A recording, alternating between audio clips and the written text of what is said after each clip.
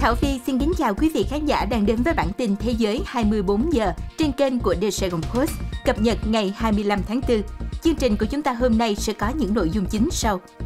Hai phe phái xung đột tại Sudan đồng ý ngừng bắn trong 72 giờ vì lý do nhân đạo, giữa lúc nhiều nước di tản công dân. Mỹ lo ngại khả năng Wagner trực tiếp can dự vào cuộc xung đột này khiến tình hình trầm trọng thêm. Australia công bố kế hoạch cải cách quốc phòng lớn nhất nhiều thập kỷ, cam kết đưa quân đội thành lực lượng chiến đấu có thể răng đe mọi kẻ thù trong bối cảnh Trung Quốc đang ngày càng bành trướng và hung hăng. Ukraine đột kích hạm đội biển đen Nga gây nổ lớn bên ngoài Sevastopol. Ukraine tung cảnh báo lạnh người tới Nga về một mùa bom nổ ở bán đảo Crimea. Bỏ mặt người dân đói khổ, Triều Tiên vẫn thường xuyên đốt tiền phóng tên lửa. Một nền y tế yếu kém khiến nhiều người dân phải tự chữa bệnh tại nhà gây tử vong. Thủ tướng Campuchia, ông Hun Sen giải thích lý do vì sao quyết định chơi lớn, miễn phí ăn ở, vé vào cổng và bản quyền truyền hình cho SEA Games 32. Phần tin chi tiết sẽ được chúng tôi gửi đến quý vị ngay sau đây.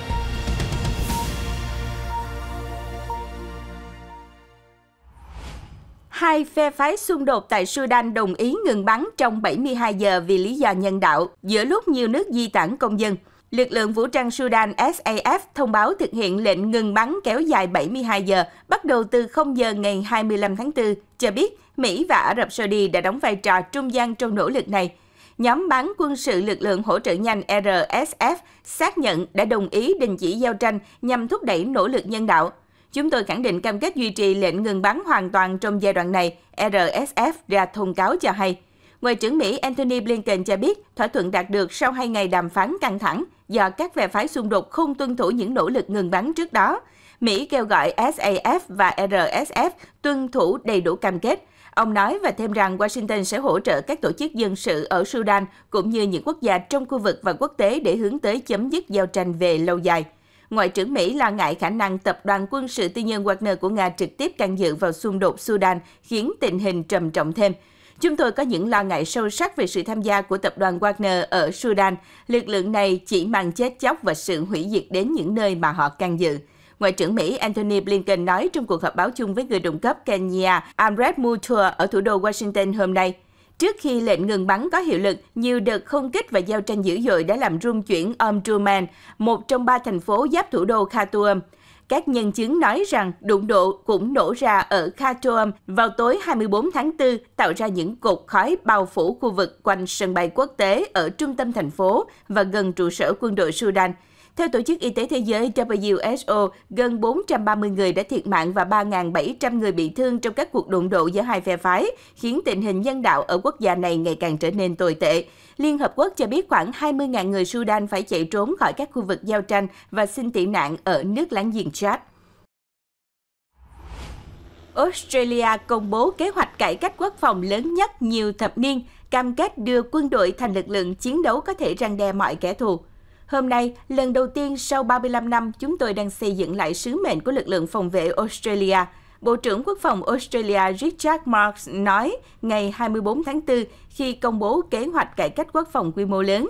Kế hoạch chiến lược này kêu gọi quân đội Australia chuyển hướng mạnh mẽ sang khả năng răng đe tầm xa như sử dụng tên lửa, tàu ngầm và các công cụ trên không gian mạng – để đối phó với các mối đe dọa tiềm tàng, quân đội Australia đang lên kế hoạch phát triển khả năng tấn công từ trên không, trên bộ và trên biển, củng cố các căn cứ phía Bắc cũng như tuyển thêm quân.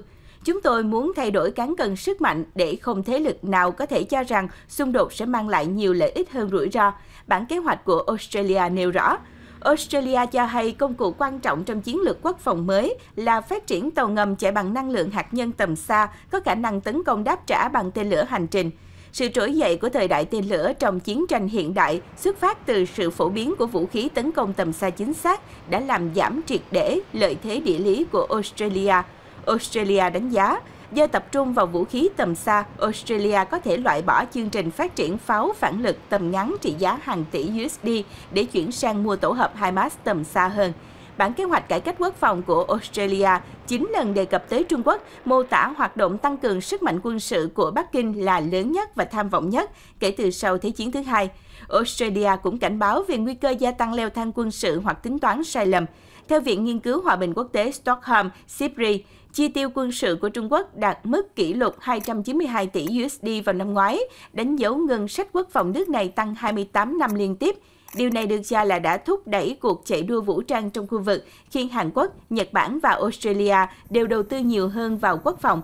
Theo SIPRI, chi tiêu quân sự ở châu Á và châu Đại Dương đã tăng 45% kể từ năm 2013. Hạm đội Biển Đen của Nga cho biết đã đẩy lùi một cuộc đột kích bằng tàu không người lái trên mặt nước bên ngoài Sevastopol, Crimea rạng sáng 24 tháng 4. Trong khi đó, Bộ Chỉ huy tác chiến miền Nam của Ukraine tung cảnh báo lạnh người tới Nga về một mùa bom nổ ở bán đảo Crimea. Người đứng đầu cơ quan quản lý của Nga tại Sevastopol, Thống đốc Mikhailo Ravozaev cho biết hạm đội Biển Đen của Nga đã đẩy lùi một cuộc tấn công bằng tàu không người lái trên mặt nước ở một bến cảng bên ngoài thành phố vào rạng sáng 24 tháng 4 và tất cả các dịch vụ khẩn cấp đã được đặt trong tình trạng báo động. Hạm đội của chúng tôi đã đẩy lùi một cuộc tấn công bằng tàu không người lái trên mặt nước trong một cuộc đột kích ở bến cảng bên ngoài thành phố. Tất cả các cơ quan của thành phố đều đang trong tình trạng báo động. Chúng tôi đang giữ bình tĩnh. Ông Ravozaev viết trên Telegram của mình vào rạng sáng 24 tháng 4. Sau đó, ông Ravozaev cho biết một tàu không người lái trên mặt nước đã bị phá hủy và chiếc thứ hai tự phát nổ. Ngoài ra, thống đốc Sevastopol, thành phố nằm ở phía nam bán đảo Crimea, nơi đặt quân cảng của hạm đội Biển Đen thuộc Hải quân Nga, cũng thông tin rằng các tàu không người lái đã bị vô hiệu hóa ở một bến cảng bên ngoài thành phố, do đó không có nơi nào bên trong Sevastopol bị hư hại. Nhiều video lan truyền trên mạng xã hội cho thấy những tia chớp và tiếng nổ mạnh cũng như âm thanh từ vũ khí tự động làm rung chuyển Sevastopol rạng sáng nay. Ukraine cảnh báo về mùa bom nổ ở Crimea. Trong một diễn biến khác, bà Natalia Humeniuk, giám đốc trung tâm báo chí của Bộ Chỉ huy tác chiến miền Nam Ukraine ngày 24 tháng 4, đã khuyên người Nga thích sống và tới nghỉ dưỡng ở bán đảo Crimea nên làm quen với các cảnh báo không kích và chuẩn bị cho một mùa bom nổ. Tuyên bố trong bản tin chung quốc gia 24 trên 7, bà Humeniuk cảnh báo rằng mùa hè năm nay ở Crimea sẽ trở thành mùa của những vụ nổ, chứ không phải là một mùa nghỉ dưỡng. Bình luận về việc Nga đã xây dựng các chiến hào dọc trên các bãi biển đầy cát ở phía tây Crimea, bà Humeniuk tuyên bố, tôi nghĩ họ sẽ không thể đến các bãi biển, họ đã chơi trên cát ở đây rồi, trò chơi của họ sẽ kết thúc ở đó. Ngày 21 tháng 4 trên Daily NK, một nguồn tin tại tỉnh Riagan cho biết vào tuần trước, một phụ nữ tên Ly ở độ tuổi 20 ở huyện Kim Jo của tỉnh này đã chết trong quá trình tiêm thuốc phiện để điều trị các triệu chứng cảm lạnh của mình. Ly là một tiểu thương chuyên bán buôn các nhu yếu phẩm hàng ngày. Tuy nhiên, những ngày gần đây, cô bị sốt nhẹ, đau đầu, ớn lạnh và các triệu chứng cảm cúm khác. Sau khi uống thuốc cảm ở nhà không đỡ, thậm chí cô còn đổ bệnh nặng hơn. Để chữa trị cho con gái mẹ của Ly đã tiêm thuốc phiện cho cô. Sau khi cho một lượng thuốc phiện thích hợp vào thìa và đun chảy bằng lửa, chất lỏng thuốc phiện được tiêm vào tĩnh mạch bằng ống tiêm. Điều này không được cơ sở y tế chỉ định khiến Ly ngất xỉu và cuối cùng mất mạng.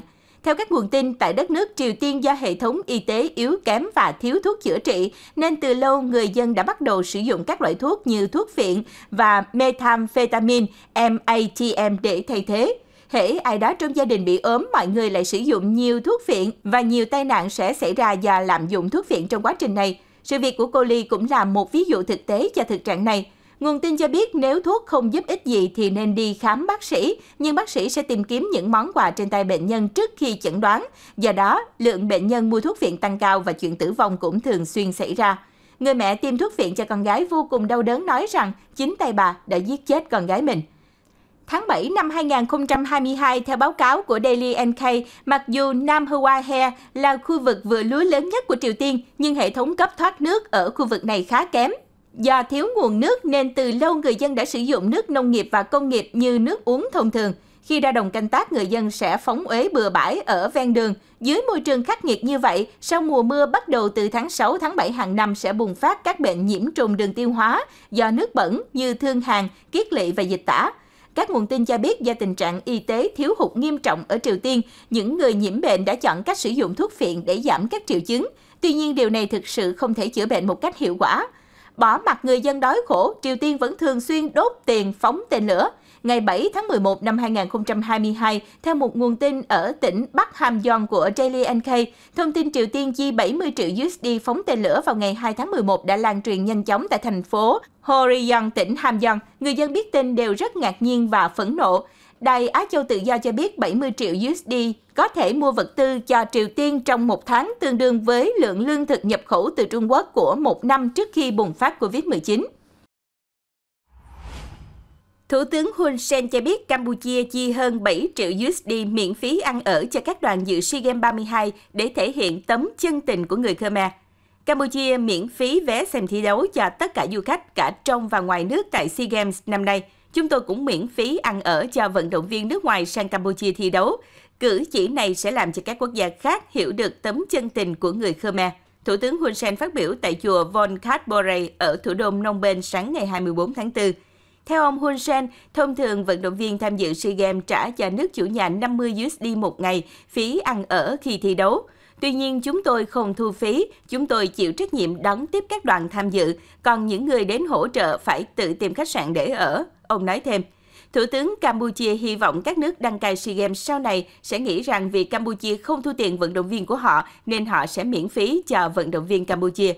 Chúng tôi không ép buộc họ, đây là điều tốt mà chúng tôi muốn làm bởi thu phí ăn ở hay bán vé cũng không làm chúng tôi giàu. Ông nhấn mạnh, việc bán vé vào xem thi đấu chỉ trút gánh nặng lên những người dân đã chờ đợi suốt 66 năm để xem SEA Games.